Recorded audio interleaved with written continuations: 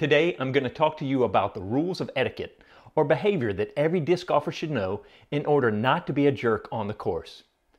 And now I know some of you will want me to get straight to the list, so I will give you a quick rundown at the front and then leave chapter links in the description so you can skip to only the parts you want to hear me explain each rule more in depth. More in depthly? More in depth. Okay. For the rest of you who can stand to listen to my voice and look on my handsome face a little bit more, I will set the stage for why rules matter. But first, the obligatory quick intro.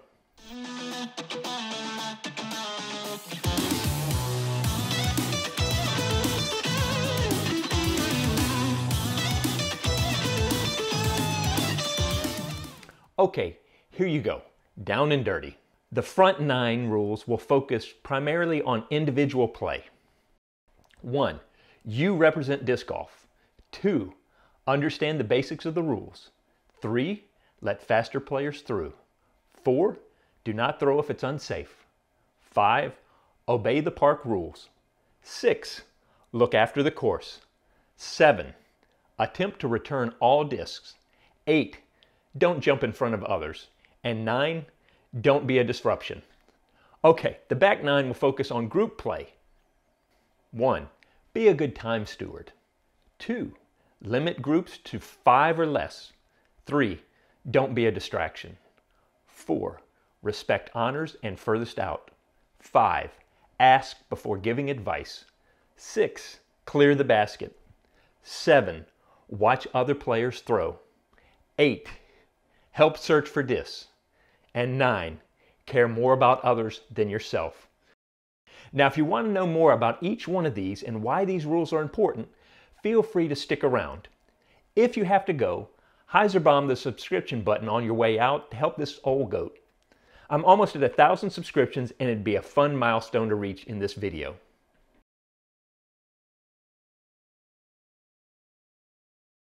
Okay, why rules? Now, with the boom in disc golf, we are finding ourselves with a wonderful problem. So many new players are falling in love with the game, but so many of them haven't had anyone help them understand the rules of the course. So I'm putting this video together to help new players understand how we can all work together to make our courses great places to play and interact. Course etiquette makes it a better experience for everyone, and that is the goal to have fun and enjoy being outdoors playing this amazing sport with as little drama as possible. Now, these are not the official rules of golf as laid out by the PDGA, which we will touch on just a bit, but rather the rules of behavior as a disc golfer and a human being.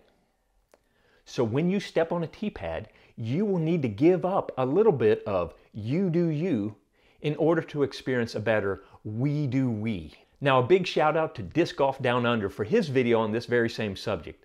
I looked at some of his points and added my own twist and thoughts, but sadly, I couldn't steal his amazing accent. Boy, that was horrible. I'm sorry. God. I tried. I tried. I said don't do it, and I did it anyway. Dang it. If you haven't checked out his phenomenal channel, check the link in the description. Like and subscribe to him and give that man some disc golf love. Boy, that sounded that sounded wrong. Let me go back and try that again. Like and subscribe and give this man some disc golf love. Okay, now on to the 18 rules. The front nine will be about the individual player, and the back nine will focus on playing as a group. So let's jump in.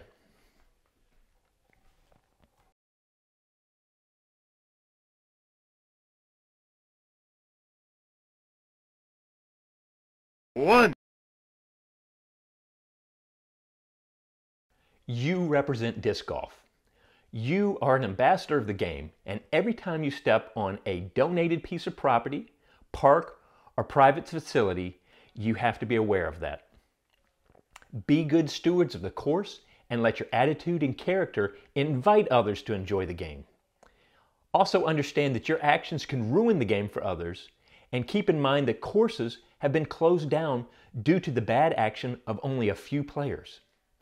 However, on a positive note, you could be the person that introduces or inspires the future Paul McBeth, Gannon Buhr, or whoever's your favorite player. They could be coming from your course. So show people the good side of disc golf. Two. understand the basics of the rules. Go to pdga.com and understand the basics of the game so that you cannot be a hindrance, but rather a help to others. You don't have to learn all the minutiae of the rules, but when we learn the rules so that we can play together on an agreed upon manner, it allows us to have a more harmonious game, hard to say, and it also helps us not kill each other. Because that certainly was a foot fault, and you are now dead to me. Never happened, really. Well, I know a couple people, maybe. Three. Let faster players through. This is just being a good human. Pay attention and regularly look behind you. Don't make others sit behind you hole after hole. You are not alone out there. Now, I have read different discussions about this, and maybe I'm just old or have a different personality, but I'm amazed at how many folks will say online, screw them, make them wait. It's going to slow me down. And if I let them through, I'm going to have to wait. I got here first. Now, unfortunately, I'm seeing this attitude more and more on the course as well. And my hope that this is due to a lack of knowing how it should work versus just being selfish. It is a rule to promote faster play for all and reduce stress and drama on the course. Let's face it, it's not a pleasant experience being behind a slower group. And it also adds stress to the group in front because you slowly get the feeling that the folks behind you are not happy with you. Be willing to give a little, and it will be a better round for everyone. Also, you won't gain the reputation of being a course hog and have a large group of potential friends and players not want to play with you. Now, of course, there are gray areas, such as you're only one hole away from 18, or you were just playing slow, but you can play faster. Whenever you're in a tough call situation like that, don't just pretend the group behind you is not there. Simply turn around, communicate with them, and let them know that you see them and that you can speed up and if you don't, on the next two holes, you will let them pass. Just letting them know that you are valuing their time as well as your own will help diffuse a lot of tension. But making eye contact and acknowledging other people not in your group is becoming a foreign concept. We've got to do better. We're no longer isolated at home during COVID, and we need to work on being social. You need to communicate and talk to others. Look up and say hey. Four. Don't throw if it's unsafe. You need to walk up to blind corners and make sure it's clear. Know who is ahead of you and then holler clear to any groups behind you when you finish a hole or move down the fairway a safe distance away from the tee box. Be especially careful around pedestrians and non-disc golfers who don't know what to look for. Don't throw over them or their property that could get damaged. Just don't risk it. Parks have closed courses after people have been hurt, and we don't want that. Also, unfortunately, there are a few folks out there who are looking for an excuse to cause problems. I'm pretty sure this one guy walks his dog off the walking path head first into a blind curve of hole number one just in case he gets hit. That way he will be able to petition the parks department to close the course so he can enjoy the park without disc golf. So please don't give folks ammunition to fight our sport. Five. Obey park rules. Same thing. We're playing at the mercy of parks, so don't blow it for others. I'm not going to discuss the whole alcohol or other substances issue other than to say, please refer to rule number one and ask if your actions are putting the course at risk. Be smart about how you handle yourself and your substances. Also, anytime you can help the park guys out on the course, please do it, as it will help us develop goodwill and you will be investing in the sport for others. We want to be known by the parks as assets to the park rather than problems that they have to deal with. Six. Look after the course. Number one thing, litter. If you bring it in, you need to take it out. And yes, I understand sometimes we drop or forget something on the course and it happens. But that's not what I'm talking about. The amount of cans and bottles that are placed and hidden around the course shows that people are taking time and effort to get rid of their trash and they don't care about how it affects other people. They just don't want to have to deal with it or carry it themselves. Do I really need to express how selfish and poor showing of character that is? Come on, guys, we can do better. Leave the course better than you found it. This was drilled into us as early players of the game. Parks began to want us to come put courses in because they knew trash and litter problems were going to disappear because we would pick up as we went. Our bags used to have as much trash in them as discs. First of all, we didn't have that many discs, but we had a lot of trash. And we picked up trash along the way. This is a way to serve your course by cleaning it up every time you go out. Second thing, and you need to listen up do no damage on the course. This is actually a PDGA written rule and can get you kicked from tournaments, banned from playing on courses, or even greater sanctions depending on the severity of what you do. This includes damaging signs, baskets, tee pads, and especially pulling down or trimming live limbs, trees, and bushes that may be a nuisance or in your way for a shot. So, unless you have permission from the stewards of the course, it is not your job to reshape the holes. And it is a very quick way to anger an entire group of your fellow players. Graffiti is also a Bobo no no. seven, Attempt to return all discs. Put your info on it so people can find you. And if you find one, do your best to contact the owner or drop it in the Lost and Found on Facebook or drop it at your local shop. I know the joy of finding a sweet disc in the woods with no ink on it, but do me a favor, try to get it back to the owner. You will make someone's day if you track them down. Now, if you have tried for a reasonable amount of time with a reasonable amount of effort and you can't find them, then you can throw the disc guilt free. On the flip side, if someone finds your disc because you've put your info on it and they contact you or post it on Facebook, do not make it a hassle for them. You go to them and get the disc. Don't make them come to you. And also, tip them for their troubles. They did what an unfortunately large segment of our disc golfing community doesn't, and that should be rewarded. Here's a side note, too. Almost all the discs that have been returned to me in the past couple years have been by folks that I had at one time or another found their disc and returned it to them. So being others focused is harder than being selfish, but is the very thing that's going to build a better disc golf community. You can do it. I know you can. eight, Don't jump in front of others. Folks playing the holes in order have a right of way. Cutting in front of a group can mess up their rhythm and is considered a jerk move. For instance, Inverness Hole 6 is a great alternate starting hole right by parking, but often you can't see the guys just coming down hole number 5. So they end up getting stuck behind you as you've just cut the line. If this should happen, it is your responsibility to simply apologize and let them play through. Being nice and social at that time is great because it may be that in a few holes you tend to be playing faster, they may let you back through, or even better, they may ask you to join them for the rest of the round. And you may end up becoming friends with them, or at least you've had a friendly experience.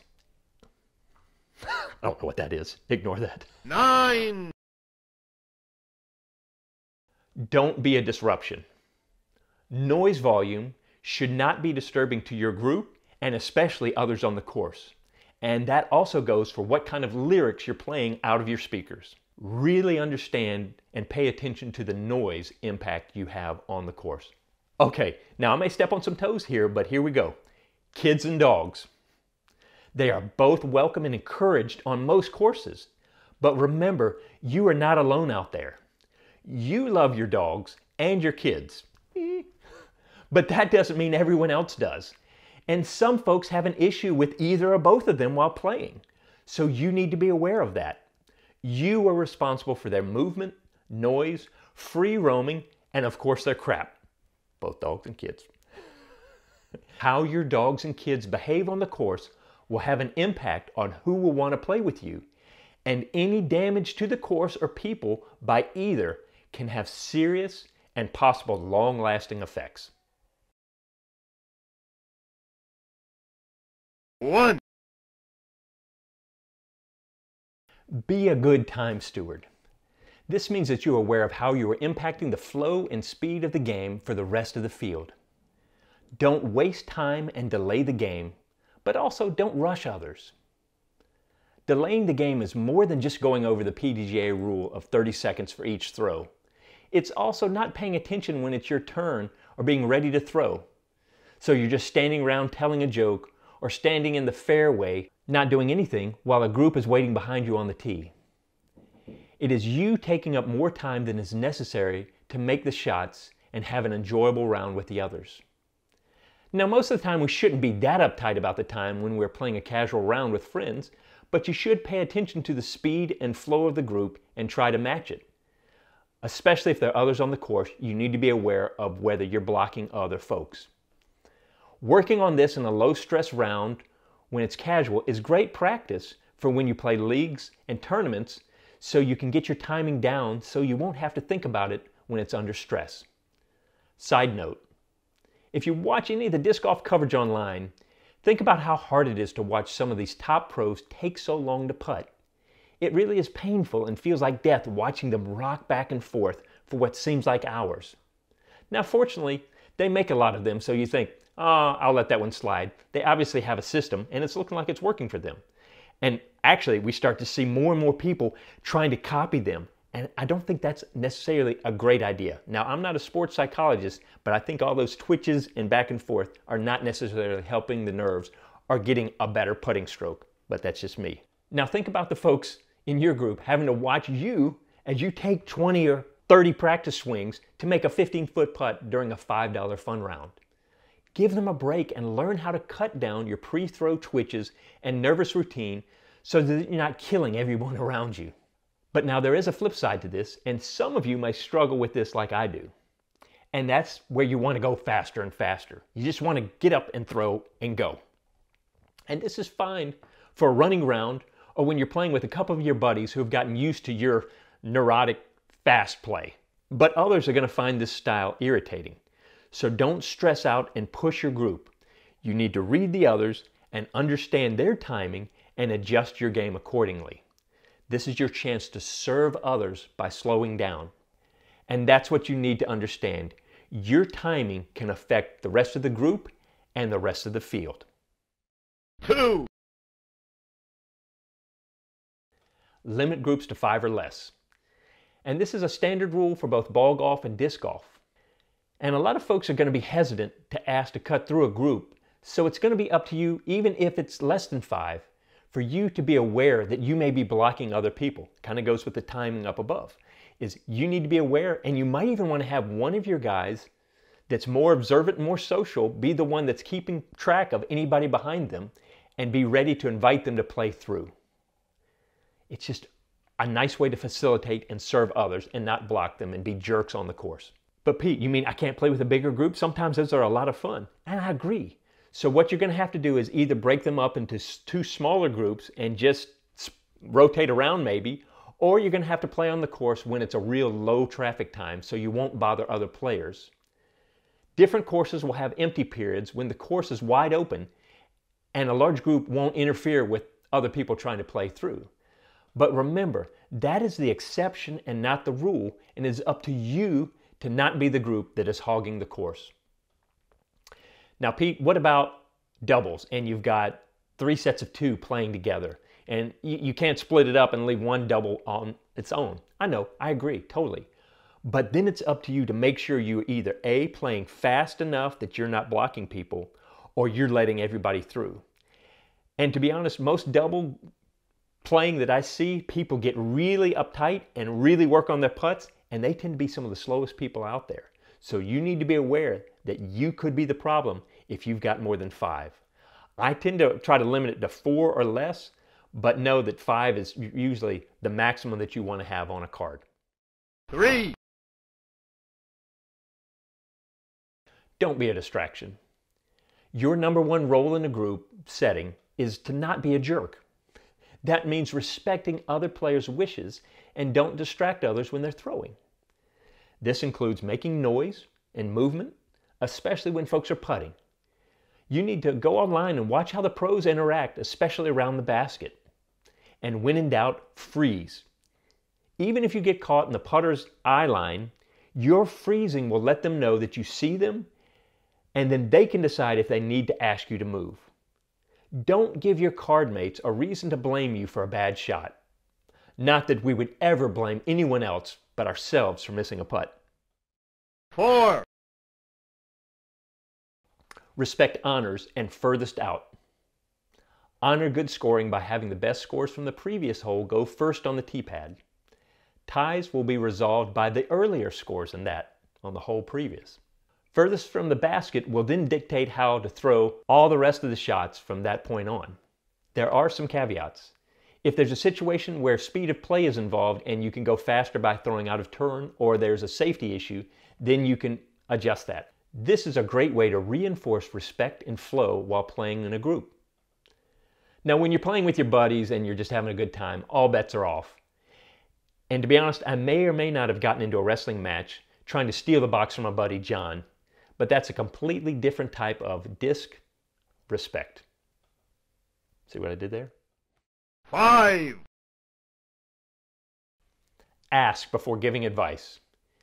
You may know more than the other person, but until you know that person, their history, and their openness to coaching, it may rub them the wrong way, even if your intentions are there to help.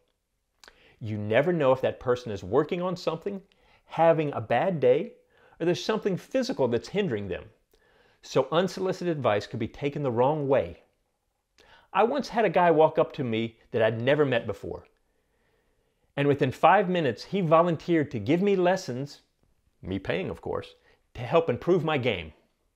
Now, there were a couple problems.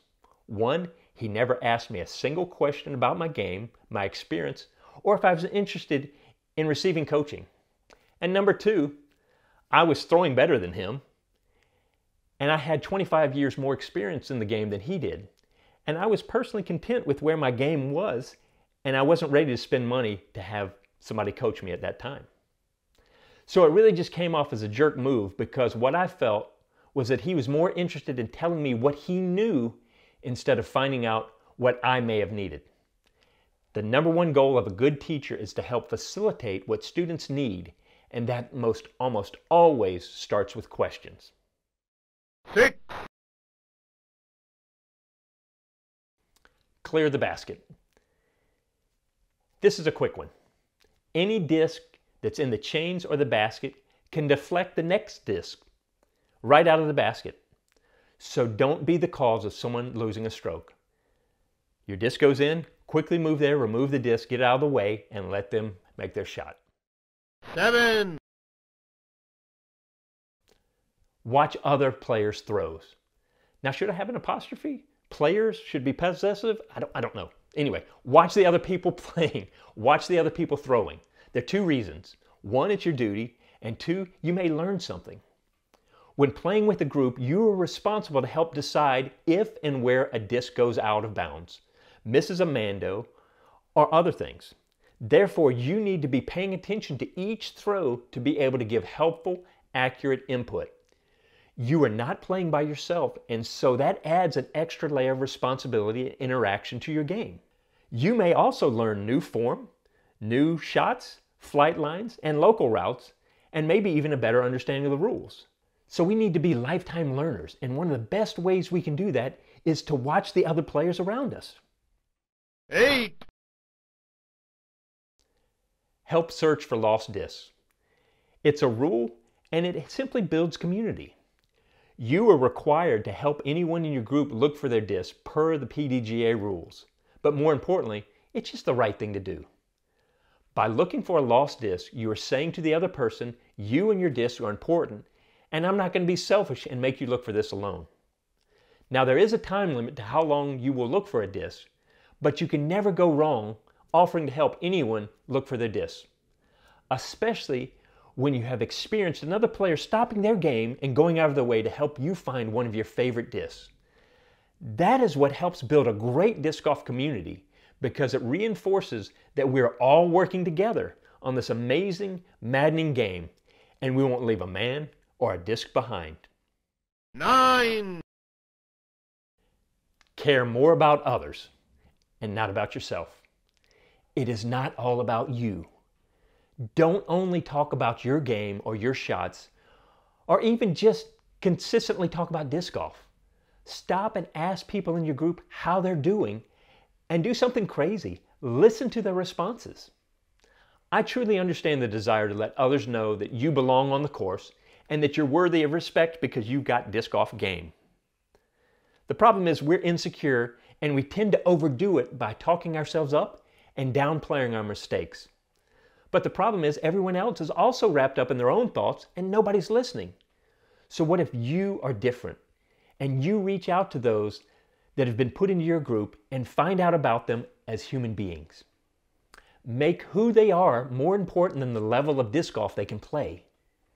I have been able to have some of the most amazing conversations and get to know some incredible folks just by asking someone in my group, How are you doing? Really? Let's be more than just disc golfers. Let's be good humans.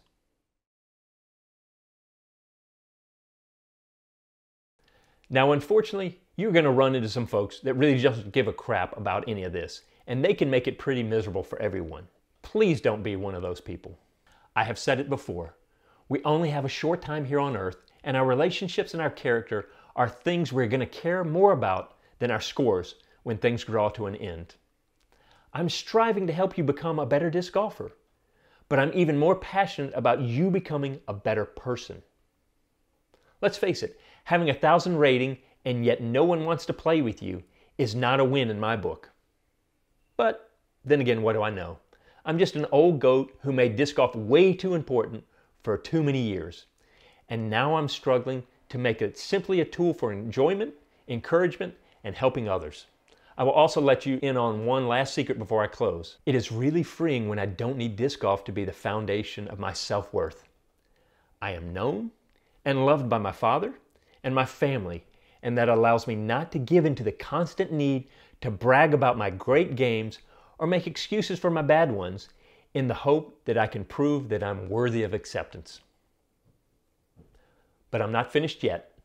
You see, I notice a trend on how quickly I can fall back into needing a good round of disc golf to make me feel good about myself when other parts of my life aren't working out too well.